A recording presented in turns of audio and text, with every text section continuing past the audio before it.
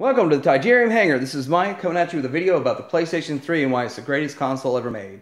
First of all, the PlayStation 3 was a huge jump technologically from the PlayStation 2. So if you're looking over here, the PlayStation 1 was great.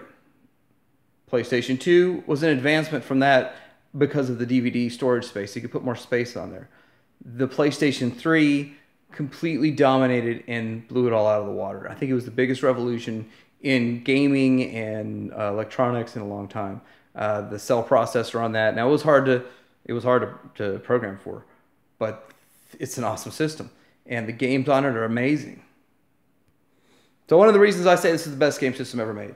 So number one, every one of these systems plays PlayStation 1 games. So you can slap PlayStation 1 game in there. You can play your Crash Bandicoot on it, or you can just go spend 40 bucks and get the new Crash Bandicoot that's made for the PS4 and play it on the PS4. The PS3, I've been playing uh, Crash Bandicoot on it for the last decade with my kids. They already know how to play it. When we got it on the PS4, they already had it, uh, knew how to play it, and it was it was nothing too new to them, but it was fun to see the upgraded graphics but they all play PlayStation 1 games. These two in the center play PlayStation 2 games. And this is proof of concept that you can have emulation on your PS4. They just choose not to put it in there. They choose not to put it in there for one simple reason. They want to charge you for the download. And the PlayStation 3, you can play your entire PlayStation 2 library if you have one of these two models. There's also a 20 gig that I don't have. So this is the 60 with the bright silver and the opening door here to reveal all your extra storage and they all have the four uh, USB ports. Then this is the 80. They took out this storage, uh, the mass media storage for cards, but you still have your four USBs. This 40 gig is scaled down. You only got the two USBs, and it's fat and it overheats. 40 gigs suck. That's the worst model they made. But the fat, they're great. So you backwards compatible? Uh, check.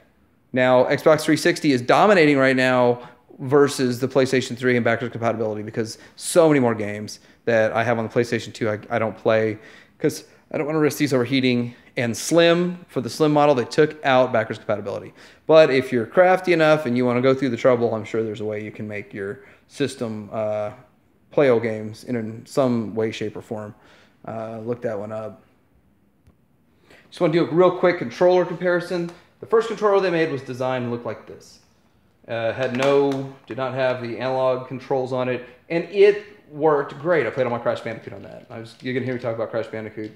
Uh, that's not actually my favorite game. Ninja Shadow Warrior uh, is my favorite game. Ninja Shadow of Darkness. That's my favorite game I play on there. So anyway, they came out with these analog sticks so that you can play your, uh, you know, first-person shooters and all that kind of stuff on it, and that's great. You know uh, still play my Crash Bandicoot with this kind of control scheme. Now, the PlayStation 2 controller looks the same. It is the same. It's just colored different. Now, there is some rumble inside this. This one is the not the DualShock one. It doesn't have any rumble in it.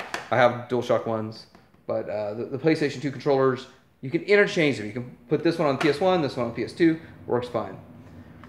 Then you get to PS3 controller. Looks exactly the same. They look exactly the same if you ask me. But uh, of course, you have a home button in the middle instead of switching to analog because you know you know it's analog uh, or whatever. The battery in this, the wireless is amazing. It's perfect. A, you don't have to go fumble for your own batteries or get an alternate battery, and I've never had one fail yet. Never had a battery fail. I've had what six or seven Xbox 360 batteries that I bought that are official batteries that don't work anymore. So you know, forget about that. Uh, PS4 controller, awesome controller. Only lasts me about four or five hours on one charge. This thing will last me two weeks. Two weeks on one charge. So, yes, the controller, old school controller, I wish I could use it on the PS4 because it would last me a whole lot longer. Durable as heck. I've never broke one, ever. We've already broke two of these uh, PS4 controllers in my household. Next, I want to talk about is games. These are top notch, top tier titles that cost 60, 70, 80 dollars when they came out. Now, you can go get these games at GameStop for three dollars. Well, not all of these, but most of them for like three dollars. The Resistance games, you can get all these Resistance games, three dollars each at GameStop. Uh, the, these Transformers Fall of Cybertron, and I mean, of course, I'm into the Star Wars stuff, but these are ten dollar games, and God of War you can get between five and ten bucks depending on which one you're getting. And uh, you know, point out the collection. So you play God of War collection, and it's uh, and then God of War Origins. Origins itself has uh, the PSP versions of the games on it. But you can get all the God of War games on this. Uh, you cannot currently get all God of War games uh, on the PS4 uh, unless you're downloading it and paying and rebuying them all. And you can't play these on the PS4. Play them on the PS3. Some of the other things I've heard a lot of people talk about, and I really didn't realize it was that big of a deal, but like Genesis Collection. The Genesis. What's better than the Sega Genesis? Well, the PlayStation 3 is because it can play Sega Genesis and PlayStation 3. So the games uh, right now, I say, is kind of a renaissance time for these games. Uh, they're selling super cheap. You can get ultra clearances if you uh, just look. And it's not really hard to find these games. Um, some of the downside, a lot of the games that play online only, the servers are going to be down or go down or whatever. So, you know, I'm not into those kind of games anyway. So if you're into the like online, uh, massive, multi, whatever, I don't care to play online. I mean, I do with my kids because they want to play Star Wars Battlefront. But I like playing games like Resistance and God of War and, uh, you know, uh, the Star Wars games, all the Star Wars Force Unleashed and, uh, and all those. Here's more games I got for uh, GameStop. They were doing like uh, four for ten sale, and so that really worked out pretty good. Next, I want to talk about the multimedia capabilities of this machine. Now, you can slap in a DVD and play your DVDs. You can play Blu-ray. But this video I'm shooting right now on my uh, camera, I can just immediately slap it on a hard drive, put it on a PlayStation and watch it on TV. Now, you can sort of do that sometimes on an Xbox 360, but a PS4 you got to download a special video player, and then you have to go through a menu and navigate it, and it's not intuitive.